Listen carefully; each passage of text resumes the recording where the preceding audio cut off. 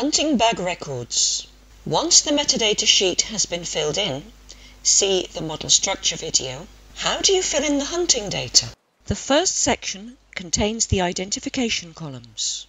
These first two columns do not need to be filled in, but the following variable, data level, is mandatory. So, you have to select what kind of data you have, whether your data came from monitoring, an event, or an observation.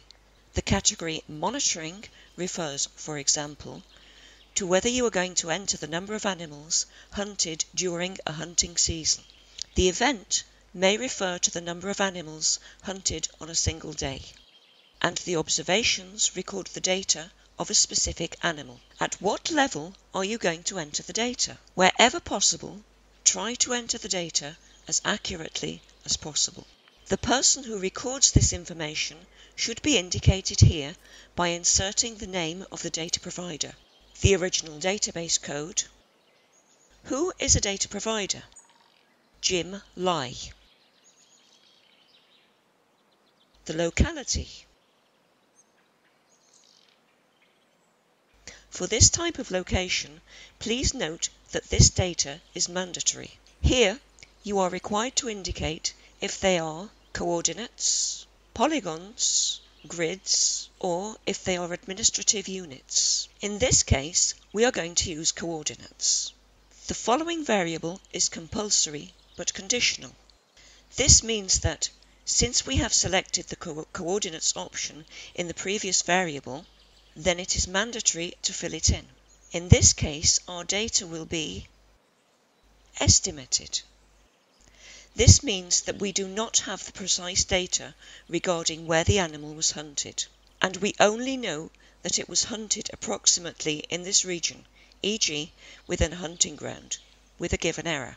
Here we will indicate that this error is between 100 metres and 1 kilometre. This is, therefore, the precision to which these coordinates correspond. We do not, in principle, have to enter the shapefile ID because, although the instructions indicate that it is mandatory, it is only mandatory when the location type is a polygon. It can, therefore, be left empty. The same thing occurs with the WKT polygon, or with the grid, as we do not refer to a specific grid. We do have to indicate, and in this case it is mandatory, the reference system we are using to enter the geographic standard. Here we can enter WGS84, which is the most appropriate format for the project. For the variable country, we enter Italy. Once we have selected Italy, we can select the region or province in which our record is located. What type of area is it? This field is also mandatory, and we have different options. The administrative unit, a hunting reserve, a management unit such as a natural park, an area of a research study. In this case, we select hunting ground. If, for some reason, there is a problem with the drop-down menus, we can always go to the data value sheet and select it directly from there. If you have any doubts about term concepts, you have the different options, where you can find for each a drop-down menu with our definitions. The size of the study area is not mandatory, but it's better if you can include it. In this case, it's 500 hectares. Here, we are allowed to include other information that we may or may not have such as whether there is supplementary feeding, whether there are pigs in that region,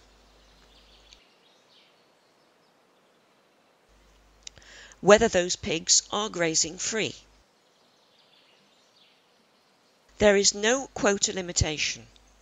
If it is limited, you cannot hunt as many wild boars as you want, but only a restricted number per day, hunter, or season.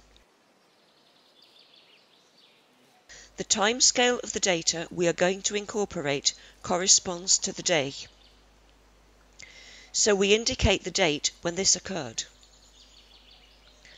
on the first of the second month, 2014. If it were a time interval, we would have to fill in these fields. We also fill in the data time, which is the date that we have registered, the 9th of the 3rd, 2014. In the measurement section, we indicate the number of animals hunted, 14 were hunted, 3 females, 4 males, 6 juveniles, 1 unidentified. We should indicate if the females were inspected to see whether or not they were pregnant and indicate how this was done, whether they were selected using a random method, and whether all the hunts were analysed. 4, 2, 9, 20. If there is no information on the reproductive status, it doesn't matter because this is not mandatory.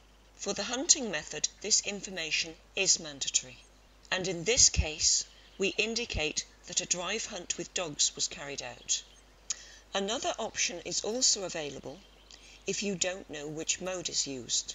Here you will find information about how many hunters there were, 30 hunters, number of people beating, number of dogs, 12.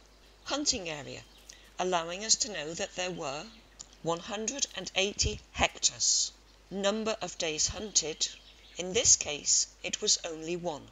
So we almost have this row filled in.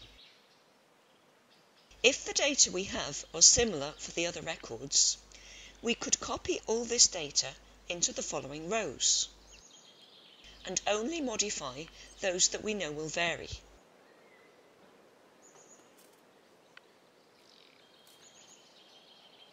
For example, the coordinates. These data are the same, so we could drag them. As the geographical data are different for each case, we should change them. And if it is the same box and contains the same information, we can copy it. The data could be same for year and month, but we'd have to change the day. These data are the only ones we would have to fill in or paste from an external database.